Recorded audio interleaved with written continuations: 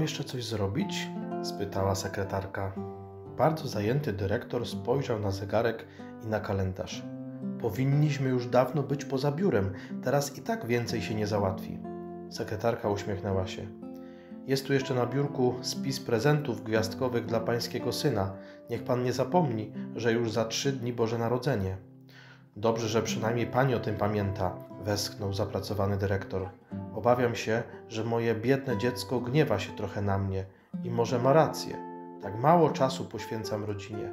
Gdy wracam do domu wieczorem, synek jest już w łóżku. Prawie nigdy nie rozmawiamy ze sobą. Ale przynajmniej w Boże Narodzenie chcę, by otrzymał piękny prezent. Zróbmy tak. Niech pani kupi prezent, bo ja nie mam czasu.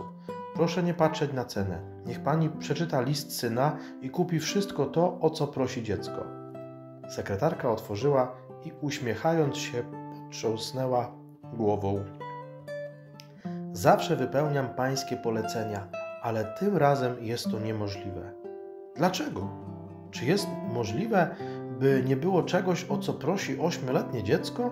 Czego sobie życzy? Proszę mi pokazać ten list. Nic nie mówiąc, sekretarka podała liścik synka dyrektorowi. Drogi tatusiu, jako prezent gwiazdkowy chciałbym, abyś przez następny rok wygospodarował dla mnie każdego albo prawie każdego dnia pół godziny, nic więcej. Twój syn Fabrycy. Jaki morał płynie z tego opowiadania? Ano taki, że z pewnością jest wielu takich synków i córek, które podobnie jak ten fabrycy mają wspaniałych tatusiów, którzy ich bardzo kochają, którzy bardzo się troszczą o to, żeby dziecko, cała rodzina miało piękny dom, by jeździli wspaniałymi samochodami, by mogli wyjeżdżać na drogie zagraniczne wakacje, by dziecko miało wszystko, czego potrzeba. Najlepsze ubranie, dobre y, zabawki, różnego rodzaju gadżety.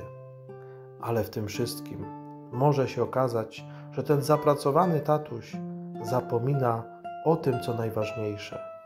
Zapomina i też nie ma czasu.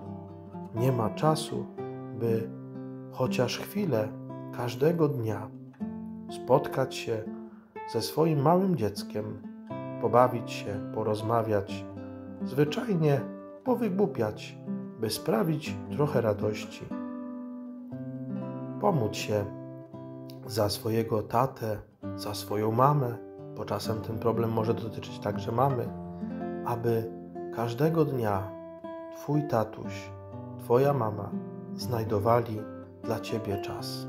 Szczęść Boże, do usłyszenia w kolejnych Bożych opowieściach.